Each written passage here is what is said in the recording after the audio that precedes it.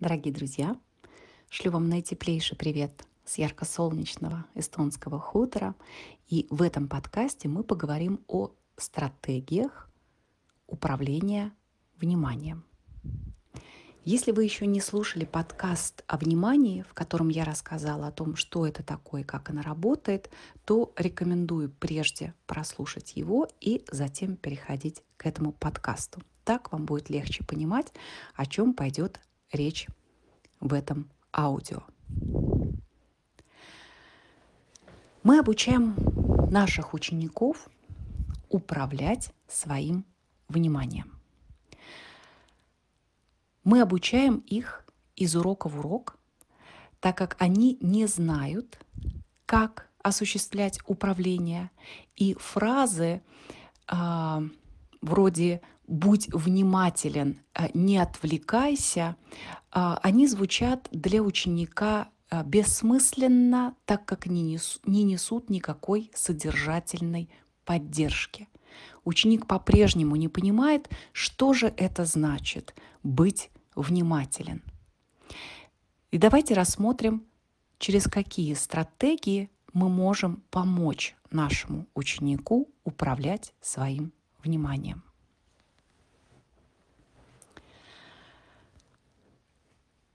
Когда наше внимание, внимание ученика непроизвольно на что-то переключается, что-то упало в классе, за окном раздался громкий звук, открылась дверь, кто-то вошел, кто-то закричал, какой-то звуковой сигнал и так далее. А, внимание а, непроизвольно переключается сразу же. И чем а, меньше возраст ученика, тем легче это внимание переключается. И для того, чтобы вернуть внимание учеников, учителю можно использовать какой-то звуковой сигнал. Например, в методике ВЕПа учитель использует звуковой сигнал губной гармошки. Это может быть похлопывание, это может быть постукивание, но это а, суть его заключается в том, чтобы это не использовалось а, в каждодневной практике. Потому что если это используется из урока в урок, то на непроизвольное влияние это уже не влияет, потому что мы к нему привыкаем.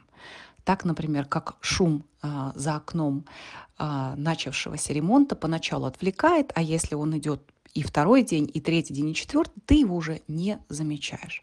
Поэтому тот звуковой сигнал, который вы используете для привлечения внимания, он используется а, достаточно редко.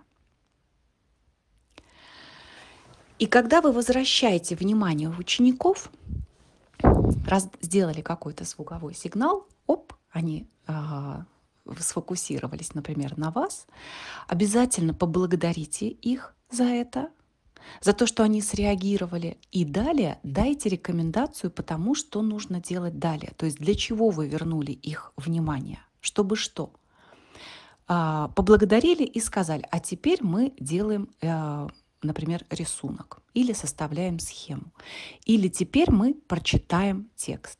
Или Послушайте сейчас меня в течение нескольких минут. Посмотрите на доску. Я объясню, что мы делаем далее. И так далее вернули внимание, поблагодарили и дали инструкцию. А, если вы замечаете, что в классе есть один-два ученика, которым очень трудно управлять своим вниманием, а, можно посадить его поближе а, к столу учителя. И, конечно, мы минимизируем отвлекающие факторы и просим наших учеников также убирать то, что их отвлекает, особенно в начальной школе.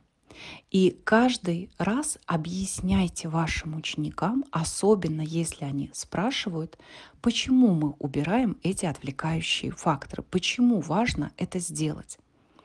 Уделяйте объяснениям э, достаточно много времени до тех пор, пока ученикам самим не станет это понятно. И чем больше они задают таких направляющих, поясняющих вопросов, тем лучше. Я знаю, что в школах э, и так, без моей рекомендации, просят убирать э, телефоны, какие-то игрушки, посторонние вещи, девайсы различные. Э, знаю также, что вводят правила, которые запрещают держать, например, смартфон э, в кармане или на столе. И хочу сказать, что это не те действия, которые помогают ученику управлять своим вниманием. Это действия контролирующие, а не обучающие. А, ребенок учится управлять своим вниманием. Это совсем непросто, и вы это знаете по себе точно так же. И ребенку нужно предоставлять возможность для этого давать ему пространство для э, проб и ошибок. Указами, правилами, запретами мы этому не обучаем. Мы просто говорим о том, что так нельзя, тебе это вредит, например, даже если мы поясняем, да, при этом, э, и категорично просим следовать нашей инструкции. Ребенок не связывает это с тем, что ему хотят помочь. И когда он оказывается в ситуации, а, когда нет рядом надсмотрщика и рядом лежит смартфон, он по-прежнему не умеет управлять своим вниманием.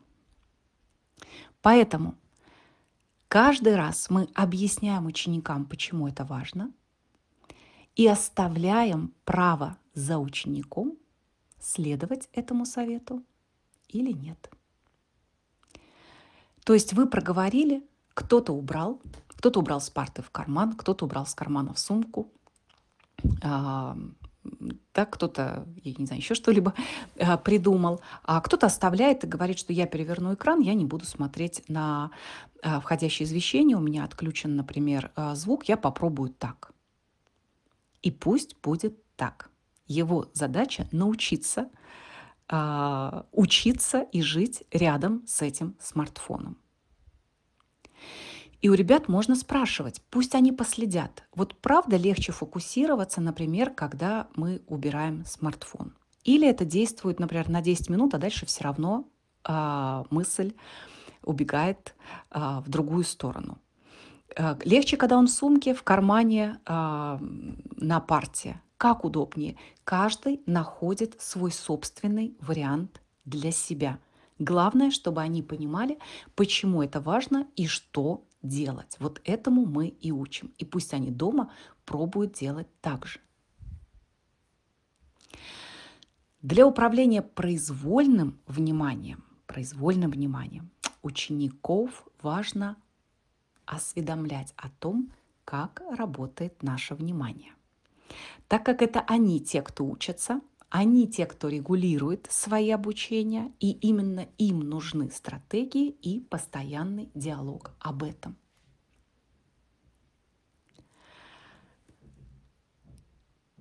Как ученику удерживать внимание? Как мы можем помочь ученику удержать внимание? Когда мы внимание поймали, следующий шаг, мы его удерживаем. Э, и это очень важно, удерживать свое внимание, а, потому что если оно не удерживается, тогда информация не попадает в рабочую память, и ученику просто нечем оперировать для того, чтобы работать над изучением темы. Тут, правда, важно учитывать еще и особенности рабочей памяти. А, если она перегружена, то а, ребенок все равно не сможет использовать информацию для обработки. Но о рабочей памяти мы поговорим в другом подкасте. А, общая рекомендация здесь такова, что нужно стараться не загружать рабочую память ребенка, и все, что можно представить, например, в виде инструкции или рисунка, сделайте. Не надо все передавать на, а, на словах ученику. А, так вот, удержание внимания. Как помочь?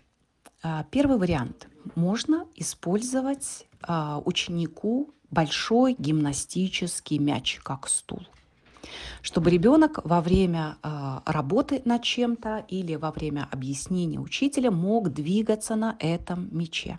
Это помогает ему удерживать внимание. Э, сразу хочу сказать, что чтобы удержать внимание, ребенок не должен сидеть неподвижно. Я знаю, что может казаться, что чем неподвижнее сидишь, тем более внимателен. Это не так. Должно быть движение, ерзнание на стуле, возможность поменять позу, переложить ногу на ногу, положить ноги еще как-то, как, э, как ребенку удобнее и так далее. А, второй вариант – использовать а, гимнастическую резинку, которая как перекладина может быть натянута за ножки а, стула, и у ребенка есть возможность закинуть ноги за эту резинку и как бы теребить ее. Или можно между стулом и столом натянуть, и точно так же ребенок постоянно будет теребить ее ногами. Это тихо, это никому не мешает, и визуально это тоже никого не отвлекает. И ребенок понимает, с какой целью он это делает. Мы объясняем, почему, почему это важно, почему стоит попробовать это. И также ребенку можно следить, как мне это помогает. А также можно использовать для удержания внимания использование маленьких а, массажных а, мячиков, которые ребенок будет а, теребить а, в руке. И э, ребенок эти действия, он должен совершать автоматически. То есть если ему сразу же дать эти мячики в руки, он сначала переключит внимание на них, но если он использует их регулярно, то он привыкает э, к тому, э, что я фокусируюсь, а вот за движениями пальчиков я уже э, не слежу. То есть это автоматическое действие, я не переключаю свое внимание на них. И также четвертый э, способ для удержания внимания – это использование жевательной резинки. Когда а, ты а, жуешь а, резинку, а, то это помогает лучше фокусироваться. Опять-таки, это действие автоматическое, ты не думаешь о, о том, как ты это делаешь. Это помогает лучше фокусироваться а, на какой-либо задаче. А, для того, чтобы ученику было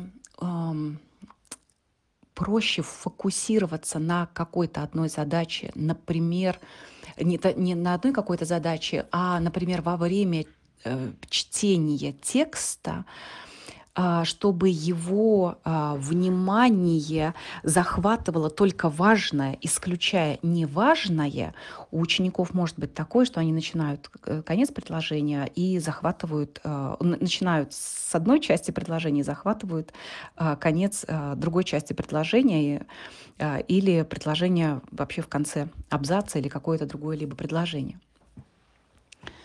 Можно использовать в этом случае а, линейку а, или а, прямоугольную рамку, которая в себе, которая ограничивает весь другой текст, например, книги или параграфа, и только в своей рамке показывает какой-то определенный фрагмент текста, и ребенок следит за этим текстом. И таким образом он свое, свое внимание направляет только на важную часть, и его ничто другое не отвлекает.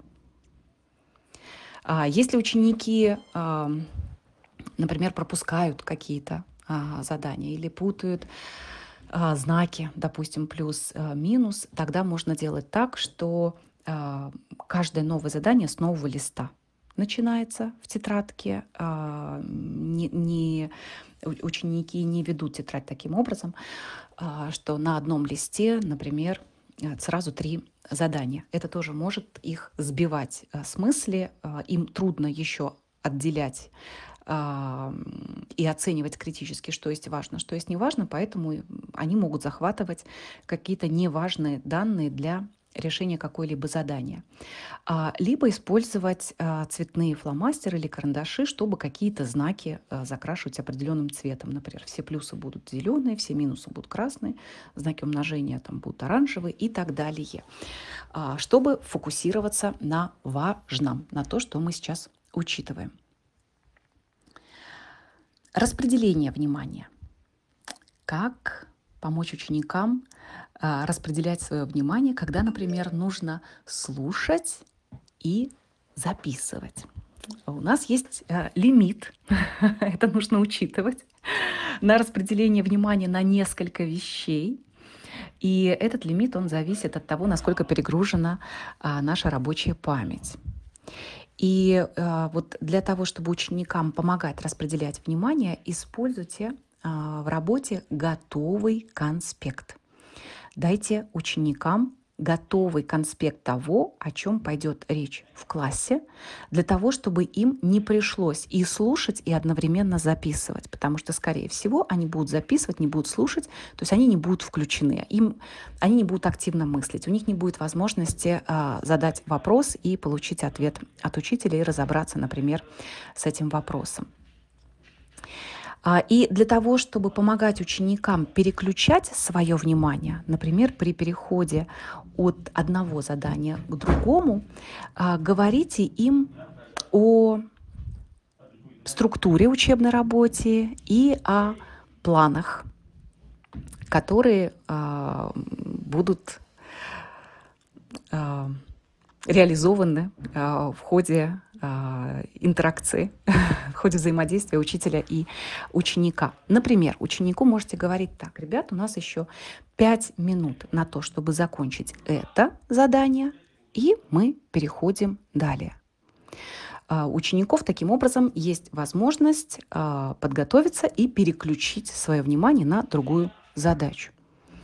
Можно использовать таймер, можно использовать какие-то другие действия, Э, который помогает ученикам понять, что о, сейчас осуществляется переход к другому действию, какой-то к другой деятельности. И в заключение этого подкаста а, скажу, что а, чем больше диалога нашего а, в работе с нашими учениками, тем это лучше для поддержки их учебного процесса.